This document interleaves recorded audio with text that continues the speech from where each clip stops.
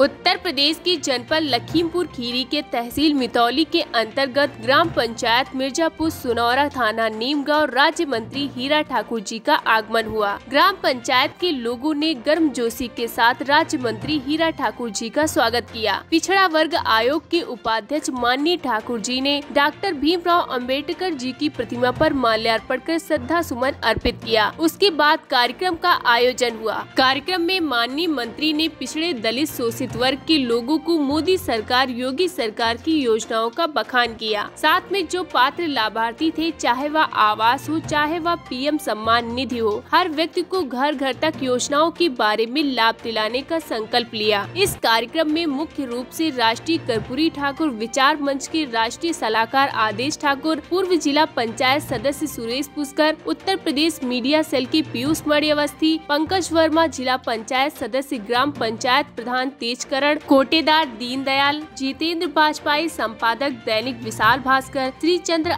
आनंद मंडल मंत्री भाजपा दिवाकर नीमगांव रामपाल वर्मा महगी महेश कोटारा कार्यक्रम के आयोजक सुनील सिंह निवास मास्टर भाजपा कार्यकर्ता आदि लोग मौजूद रहे अखंड भारत न्यूज के लिए अमन श्रीवास्तव की रिपोर्ट लखीमपुर खीरी